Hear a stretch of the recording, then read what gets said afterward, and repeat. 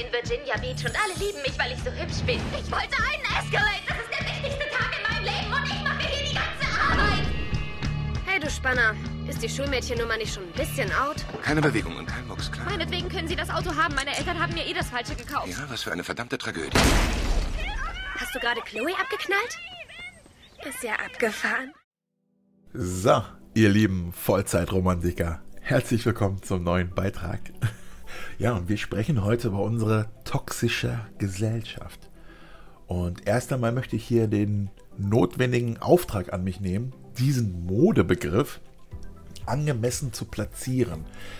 Denn je nach Kontext ähm, lässt sich der Begriff heute anders verstehen. Man muss, man muss natürlich erst einmal unterscheiden. Reden wir hier über einen ähm, psychiatrischen Hintergrund, eine destruktive, nicht empathische Persönlichkeitsstörung, ob wir jetzt hier von Narzissmus sprechen, Borderline und wie das toxische Verhalten dann dort seine Dynamik erfährt. Oder sprechen wir jetzt hier, was eher so diesem Modebegriff gerecht wird, ähm, wo man sagt, jetzt ja, toxische Communities, toxische Gesellschaft in Online-Spielen, Online Social Media oder so. Dort spricht man viel mehr einfach nur das negative emotionale Potenzial an, dass man einfach so ganz selbstverständlich ganz schnell Leute angreift und für negative Stimmung sorgt und Menschen herunterzieht. Und die tiefe Struktur hinter einer Persönlichkeitsstörung macht das ja noch viel größer. Und da ich dazu aber wirklich viele Videos auf diesem Kanal bereits veröffentlicht habe, diese verlinke ich hier gleich auch nochmal, falls ihr Interesse habt, ähm, möchte ich jetzt aber trotzdem über das ganz Alltägliche sprechen, über das toxische Verhalten so im Alltag. Da ich ja selbst, ähm, kann man so sagen, denke ich, mit dem Internet groß geworden bin und im digitalen Zeitalter, so die ersten Wege des Internets mit erfolgt habe, äh, mit verfolgt habe und deswegen ja auch, ja, denke ich, da einiges zu sagen kann. Und ja, das wird wie ihr wahrscheinlich schon bemerkt habt, hier so ein freier Beitrag, frei Schnauze. Deswegen mag das auch unstrukturiert, spontan, chaotisch sein. Egal, was dir aus dem Herzen heraus ist, das Beste, denke ich. Und deswegen fangen wir jetzt auch an. Ähm, und ich überlege mal so meinen Kopf, was mir jetzt als erstes einfällt. Und irgendwie bollert da immer wieder so mein Kopf der Gedanke, wie war das bei der ersten Online-Generation? Bevor diese ganzen talentlosen... Äh, Dreckskiddies, muss man ja mal sagen, äh, hervorkamen.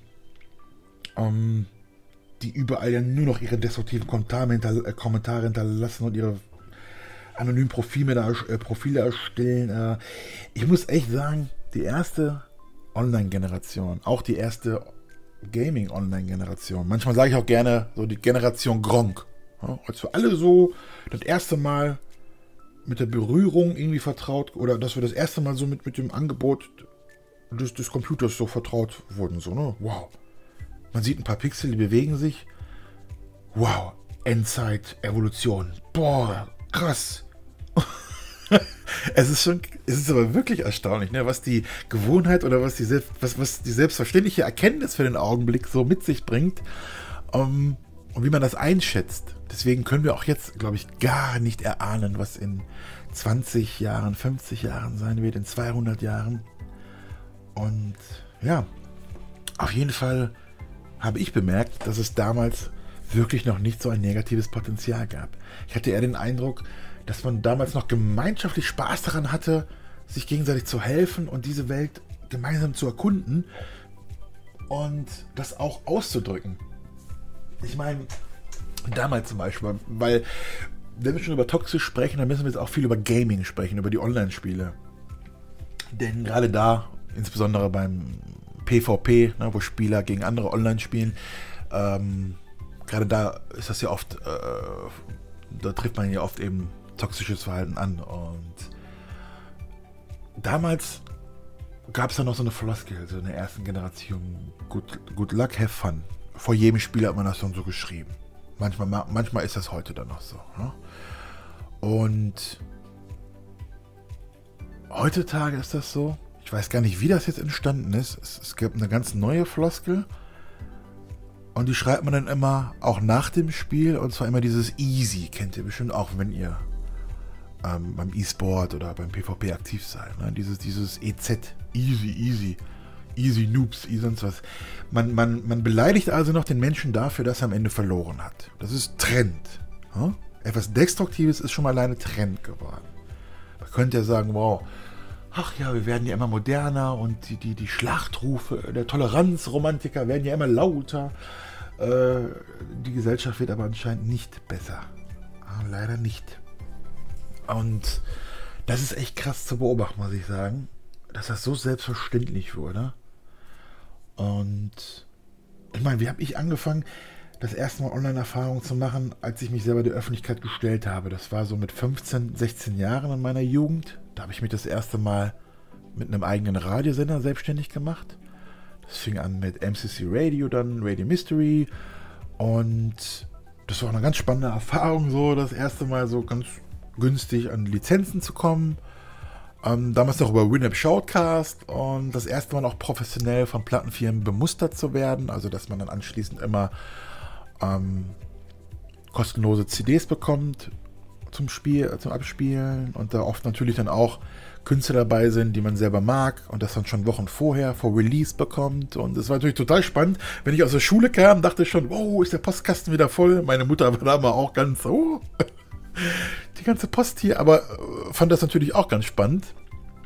Und auf jeden Fall war das eine coole Erfahrung, denn alles, was man da so online kommunizieren konnte, ob das noch ICQ war, damals auch total cool, oder auch in ähnlichen Online-Chats, wie auch immer, ähm, man hätte ja schon damals die Möglichkeit gehabt, einfach mal zu sagen, äh, ich finde das scheiße, was du laberst, oder du, du Huso, du Bastard, ich will jetzt mal nicht alle Ausdrücke hier verwenden, sonst kommt nachher so ein YouTube-Filter hier und der Algorithmus bei mir ist ja sowieso schon kaputt genug.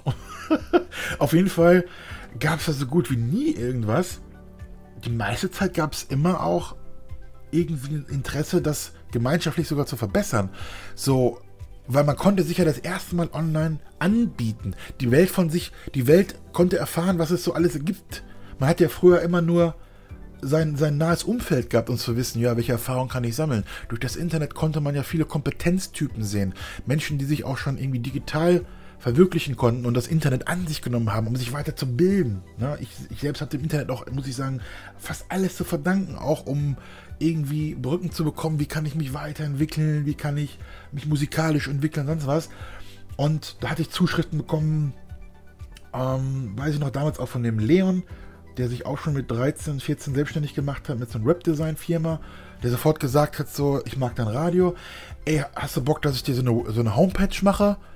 Und irgendwie, ich, ich höre dir total gerne zu. Und ich habe damals auch noch gar nicht so negativ darüber nachgedacht, wie man es heute machen würde. Ne, heute, egal welche Anfragen du bekommst, ob das jetzt mein Musikbetri Musikprojekt betrifft, ob das jetzt sonst was betrifft, äh, egal wie freundlich, heutzutage ist immer der kapitalistische Abzockstachel irgendwo. Immer Betrug irgendwo.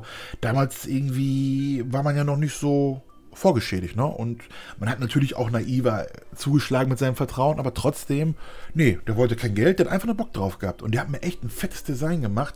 Dann noch für meine Musikseite damals und dann noch für den Radiosender. Hat er noch ein bisschen was programmiert, so ein paar innovative Sachen, die es damals gab. Und ähm, war echt cool. Dann kam noch jemand anderes dazu. Und man hat sich dann so zusammengetan. Jeder hat so, was er konnte, irgendwie angeboten. Ich habe dann den, den anderen wieder dabei geholfen, irgendwie musikalisch was beizutragen und einen Jingle mal zu machen, Musik zu helfen, Texte zu schreiben, was auch immer. Und das war irgendwie noch so ein Zusammenhalt. Klar, es klingt jetzt wieder irgendwie so ein bisschen typisch wie früher, früher. Also wenn wir jetzt hier über, was weiß ich, für eine alte Zeit sprechen, ne? Aber es ist schon krass, das wisst ihr selber, wie schnell sich die, Sozi die, die, die, die gesellschaftliche Sozialisation wieder ganz anders erfährt. Und ja. Mh, was ich auch bemerkt habe, ist, jetzt gerade auf Social Media oder da, wo der Algorithmus noch nicht so dazu neigt oder so entwickelt wurde, dass er ganz schnell irgendwie was Negatives erkennt und dann löscht, wo man sich also noch freier äußern kann, zum Beispiel bei Instagram scheint das noch nicht so zu sein. Da habe ich jetzt bemerkt, bei diesen sogenannten Reels, ne, bei den Kommentaren, wenn ich jetzt zwischendurch mal so irgendwelche Jugendliche angezeigt bekam, wo man sich dann denkt, ach wie schön, dass es noch irgendwie gut erzogene Jugendliche gibt, wo man noch irgendwie von der Ausstrahlung sieht und von dem, wie die rüberkommen, dass die irgendwie gutes Herz haben, dass die einfach friedlich aussehen, nicht wie irgendwelche, was weiß ich, für äh, tobende Kinder, tobende Torben aus dem Kinderzimmer oder so. Ähm, und die machen dann plötzlich Musik da. Spielen irgendwie Instrumente oder so, singen ein bisschen, denke ich mir, auch toll. Sogar noch kreativ. Können die meisten äh, talentlosen Kackfressen noch niemals die online immer noch flamen oder so. Und was ich dann entdeckt habe, hat mich erneut schockiert. Mich verwundert zwar nichts mehr bei dieser Drecksgesellschaft, aber es sagt mal wieder alles über unsere Gesellschaft aus. Der meistbewertete Kommentar war mal wieder was Negatives, wie man diese Kinder noch beleidigt. Das ist unglaublich. Und dass Menschen anonym sich dazu eingeladen fühlen, da einfach anonym ein Herzchen zu drücken, dass der Kommentar noch geliked wird. Das ist unglaublich. Schade, dass man nicht, während jemand da ein Herzchen drückt, das direkt dann zu Hause puff, stattfindet und der Mensch ist weg. da muss man echt so sagen, ne? Das ist wirklich traurig. Und das war jetzt kein Einzelfall bei dem Video. Ne? Das war kein Einzelfall. Und das tut mir auch für die Kids so leid. Da habe ich, muss ich sagen, echt noch viel Glück gehabt. Ähm, klar begegnet mir auch immer irgendwas, ne? ob das was Oberflächliches ist, ob das was Inhaltliches ist. Ähm, aber was da manche so. Nee, das tut mir echt leid. Und auch was Frauen natürlich manchmal so zeigen, was die so, so, so von Männern so für Zuschriften bekommen, wundert mich natürlich gar nicht. Ich habe schon immer gesagt, ich hasse die Männerkultur. Oh Gott, diese ewig pubertierenden Kinderzimmer Rambos. Und heutzutage dann, ja, machst du dir ganz viele Tattoos und siehst maskulin aus, siehst cool aus, hörst du noch eine coole Musik und zu Hause, ich bin dumm wie Scheiße, wie mach ich mich? Ja, es ist so, oh, tut mir leid, aber nee, das ist für mich kein Mann sein, diese aufgesetzte Maskulinität. Und genauso wie diese ganzen Flaming Kids, von denen ich vorhin auch gesprochen habe, mit ihren Easy am Ende immer oder ständig Leute beleidigen. Ähm, das sind ja auch Menschen. Ich meine, wenn die dann ihre Online-Spiele angehen, ja, in dem Moment findet dann eine Hand-Augen-Koordination statt, wie man so sagt. Ne? Die, die Psychomotorik wird befriedigt, man bewegt die Maus. Ich bin mir aber ziemlich sicher, dass deren einzige Psychomotorik die ein Leben lang bleiben wird, immer nur daraus bestehen wird, dass man sich dann irgendwelche Online-Weiber bei Twitch anguckt und sich da einen runterholt. Ähm, weil ich glaube, das, das ist unglaublich, diese, ich glaube, diese Kids, die bemerken selber gar nicht, wie peinlich sie eigentlich sind. Es ist ja so, die Jugend achtet immer auf das, was irgendwie cool ist. Äh, ich glaube, die Menschen haben noch nicht verstanden, dass es cooler ist, ehrenhaft zu sein, als irgendwie so, so dahingeschissen asozial. Es ist total cool, mal auszurasten, beleidigen, ey, kein Problem. Der Kontext muss stimmen, das Motiv muss stimmen. Ja? Wenn es einen Sinn hat. Aber dieses Sinnlose einfach. Ja? Und was ich auch bemerkt habe, ist, ähm, da habe ich sogar einige psychologische Tests mal angefertigt, weil ich dachte, das darf echt nicht wahr sein. Das habe ich in Online-Foren dann mal so anonym, äh, anonym gemacht und auch live in Communities erlebt oder auch bei diesen Spielen, wenn, anfängt, wenn jemand anfängt, jemand anders zu beleidigen und ich kriege das mit oder ich werde auch mal selber beleidigt und du reagierst darauf, wo man denkt, wo, wo, sich dann jeder denken sollte eigentlich, ja klar reagiert er darauf, man sollte jetzt erstmal dem, diesem sogenannten Flamer, dem Arsch erstmal äh, Kritik geben, hey, was soll das hier, lass dir in Ruhe, wir wollen hier zusammenhalten, wir wollen noch spielen jetzt hier, wir, wollen noch, wir sind doch ein Team. Was ich dann erlebt habe, ist auch kein Einzelfall gewesen. Menschen, die, die sich dennoch wehren und sagen, was soll der Scheiß, hör auf damit oder so, oder egal wie man antwortet, man hat ja in dem Moment das Recht dazu, sich auszukotzen, wenn man so angemacht wird. Und dann wirst du von anderen auch noch beleidigt. Das ist echt krass. Das ist, das ist, das ist, das hat mich richtig geschockt damals, als ich das, das erlebt habe. Und dann habe ich das immer und immer wieder untersucht und es war dann fast immer so. ähm, das ist wirklich traurig. Ich selber habe mich dazu entschieden, das habe ich jetzt öfters gemacht. Wenn ich jetzt selber angegangen werde oder jemand, der sich wirklich Mühe gibt und dann einfach sinnlos beleidigt wird. Oft, es gibt ja oft noch niemals eine Situation, wo man sagen kann, ja, konstruktive Kritik wäre angebracht. Es findet ja einfach aus dem Nichts statt. Einfach dieses typische, dumme, sinnlose Negative, einfach so uh, irgendwas dahin rotzen, weil man einfach jetzt jemand anmachen will. Und ich mache das jetzt manchmal so, wenn es jetzt diese Online-PvP-Spiele sind, dann sage dann, dann, dann sag ich immer auf Englisch, ne, dass ich da keinen kein Bock drauf habe, für solche Menschen mich hier anzustrengen oder zu gewinnen. Und ähm, dass ich jetzt einfach nicht spielen werde. Und das, das ziehe ich dann eiskalt so durch und helfe den anderen auch noch dann zu gewinnen.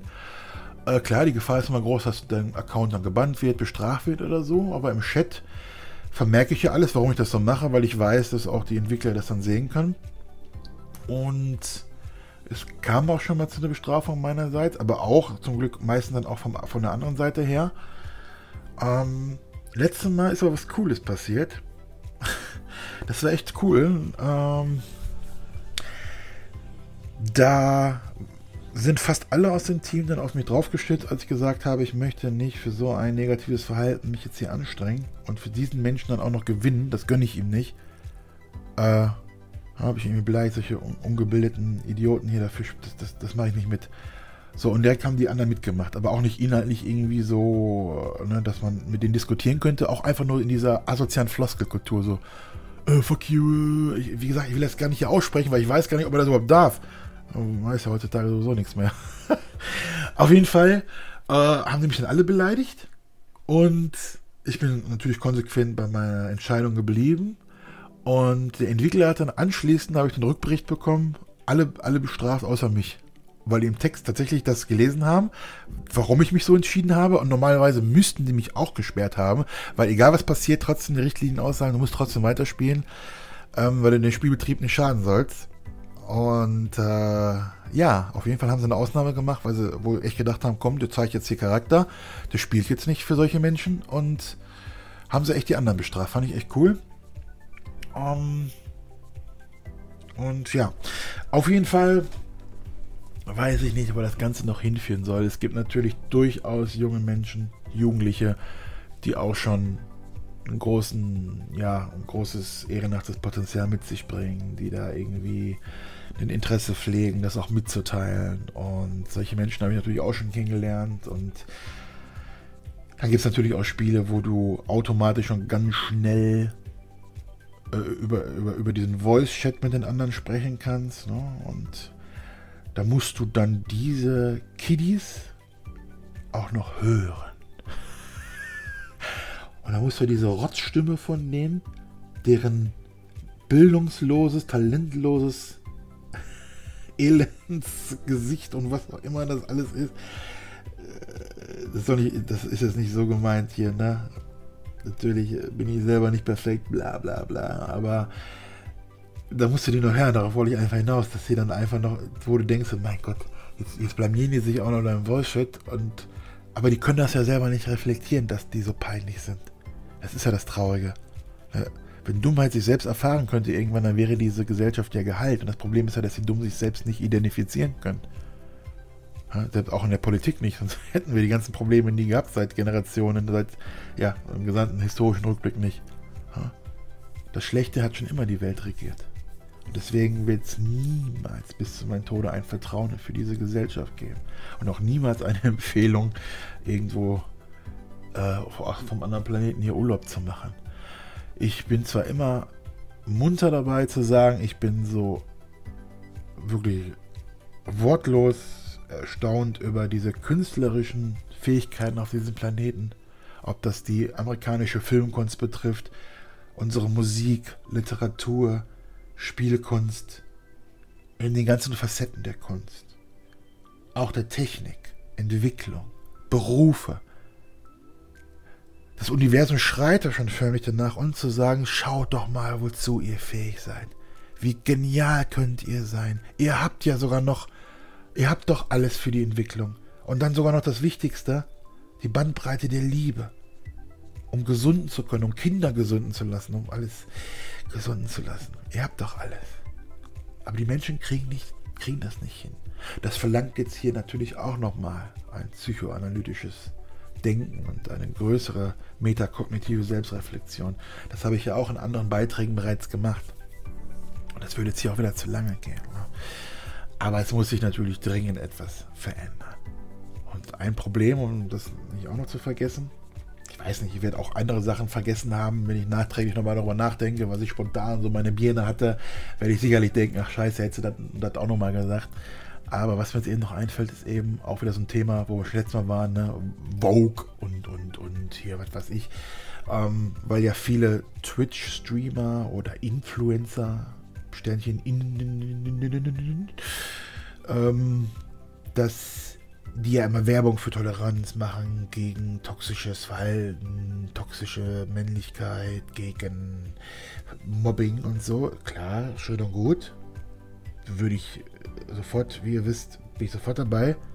Ich, war noch nie so ein Männerfreund, ja, weil ich weiß, dass die Männer die ganze scheiß Erde zu verantworten haben und auch Frauen oft zu denen gemacht haben, was sie sind, worüber ich jetzt auch sprechen werde wieder. Dass aber leider genau diese ganzen berühmten Influencer oft, die immer so für Toleranz schreien und dann noch andere angreifen und schlecht machen, äh, privat selber ganz gefährlich sind und an Persönlichkeitsstörungen leiden und Menschen vernichten und betrügen und äh, ist ja auch letztes Mal hier diesen Dings geschehen hier, ne? Der damals auch meinen Kanal beworben hat hier wofür ich natürlich immer noch dankbar bin, dieser Felix hier von Super Extreme, wie heißt er jetzt, der Gesellschaftskritiker, ne?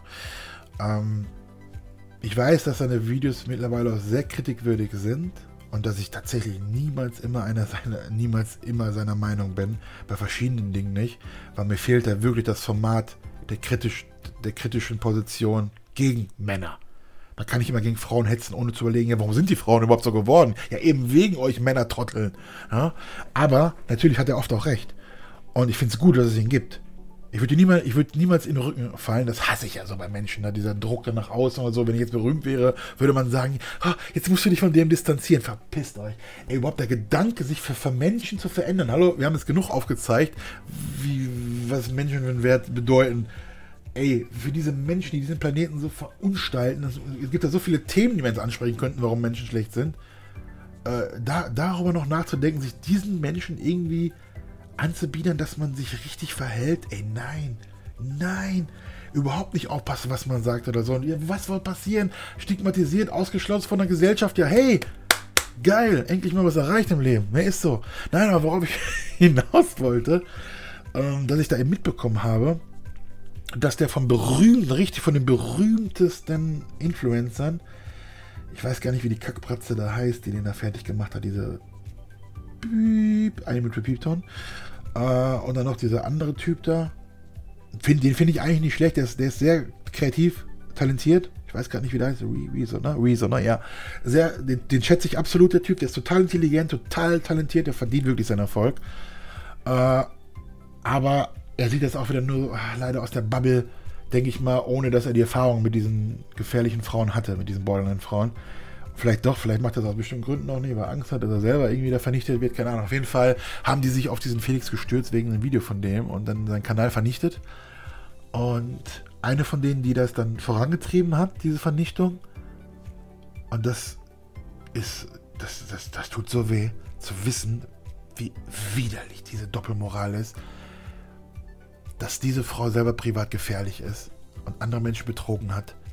Und dann macht sie einen auf, ich bin der moralische Leuchtturm und will jetzt diesen bösen Mann vernichten. Boah. Boah, ich darf euch nicht sagen, was ich gerne im, im Livestream filmen möchte, was man mit solchen Menschen macht.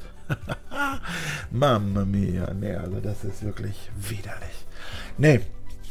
Ähm, ich weiß nicht, früher hatte ich ja auch viele Leute von seinem Kanal auf meinem Kanal was ich echt cool fand. Ich habe da auch coole Leute kennengelernt, ähm, auch coole Telefonate mit denen gehabt. Echt kluge Männer, echt tolle Typen. Äh, und ja, hinterher kam das ja bei mir auch so und mittlerweile ist das noch verstärkter mit den Bugs. Ich habe das erst gar nicht bemerkt. Man hat mich da angeschrieben, warum ich keine Videos mehr mache. Die kriegen nicht mehr Bescheid und dann äh, ja, haben die da auch selber gemerkt, ich höre, ich bin, ich, hab, ich abonniere dich gar nicht mehr. Und ja, es hat auch wohl andere YouTuber betroffen und auf jeden Fall gab es dann, für, zumindest für meine Verhältnisse, was meine Relation entspricht auf meinem Kanal, so viele Verluste an Abos, dass dann der Algorithmus dadurch so viel gestört wurde, dass jedes neue Video auch gar nicht mehr gesehen werden konnte und dadurch natürlich die wenigen Klicks, Kommentare und Sachen, die man braucht, nicht mehr stattgefunden haben und dadurch irgendwie was so gedrosselt wurde und natürlich gibt es auch keine Hilfe seitens YouTube. Hauptsache die ganzen Piep-Piep-Piep-Influencer können da wieder ihre Scheiße verbreiten. Ne? Aber ja, auf jeden Fall. Keine Ahnung, was ich da machen soll. Weiß ich nicht. Äh, ich bin, ich bin wirklich weiterhin dankbar, muss ich sagen, trotz meiner bescheidenen Statistik. Aber trotzdem sind es ja aufs Ganze gerechnet jetzt tausende Kommentare, tausende Likes, sonst was für alle Videos. Und dass ich in diesem Verhältnis trotzdem noch über 97,4% an positiven Bewertungen bin, ähm, dafür bin ich, bin ich echt dankbar, muss ich sagen. Das ist echt toll. Weil gerade auch bei den brisanten Videos, die ich veröffentlicht habe, ist mir irgendwie gelungen, immer so ein Gleichgewicht zu schaffen, dass ich allen irgendwie ans Bein pisse, aber auch alle gleichzeitig irgendwie in die Pflicht nehme, nachzudenken. Dass ich aber damit eigentlich nur aussagen möchte, hey, wir halten alle zusammen und niemand kommt hier gut weg und niemand ist besser, schlechter.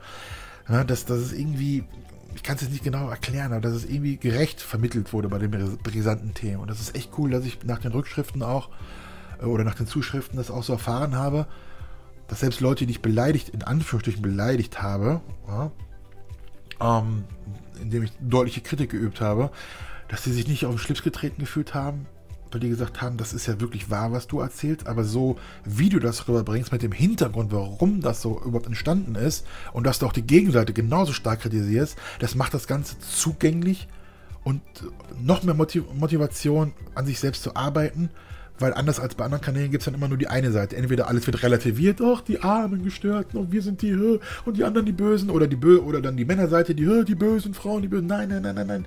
Ich habe schon immer gesagt, egal was jetzt die ganzen Ideologien betrifft, Politik, links, rechts, oben, unten, Subkultur X, Subkultur Y, was auch immer, ah, das Bewusstsein kennt so viel mehr als diese engstirnigen Bubbles.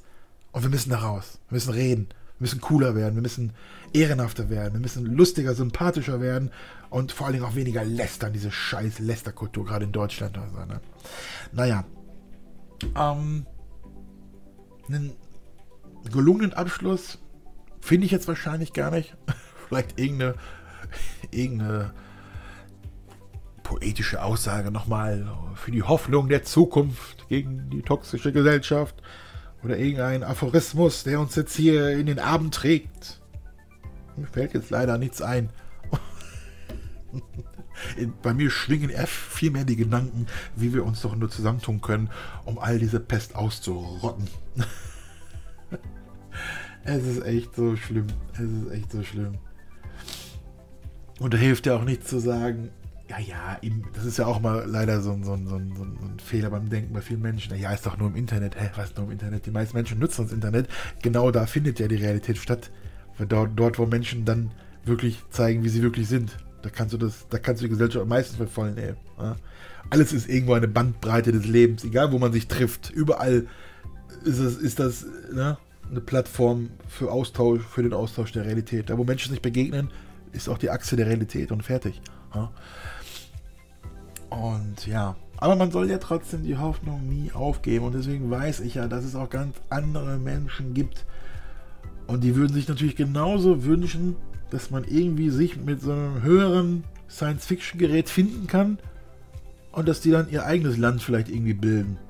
Dann können die sich sicherlich untereinander auch nochmal bekriegen, weil dann gibt es natürlich auch wieder andere Sachen, wo Menschen dazu neigen, sich zu streiten. Aber vielleicht kann man ja so erstmal schauen, ob es besser wird. Es gibt ja immer genug Themen, weshalb man nicht einer Meinung ist. Natürlich nicht. Aber dieses wirklich stumpfe, sinnlose, destruktive, toxische, das muss raus. Das muss raus aus der Gesellschaft. Wir müssen da wirklich, wir müssen da wirklich einen Weg finden, wie wir das irgendwie beenden können. Und deswegen bin ich noch froh, dass ich in einem anderen Zeitalter groß geworden bin. Also im anderen Online-Zeitalter, im ersten Online-Zeitalter, wenn man so will. Und nachdem man dann noch seine ersten Point-and-Click-Spiele gespielt hat mit Maniac Mensen und dachte, man erlebt jetzt hier den, das, das, das Größte, was man in seinem Leben erleben kann. Und die Freude, das in Zukunft weiter zu tun und dann, wow, es gibt sowas wie online. Ne? Und dann diese ersten LAN-Partys, die es so gab, auch da hatte ich eher das Gefühl, dass Menschen sich freuen, dass es sowas jetzt gibt und man verbringt eine coole Zeit. Und ja, Heutzutage ist dann überall irgendwie die Suche nach irgendwie Konflikte und ja. Ach, was laber ich jetzt weiter? Wir haben jetzt genug darüber gelabert. So, ich trinke jetzt hier meinen Kaffee aus und wünsche euch einen schönen Tag. Bis bald, euer Basti. Ciao.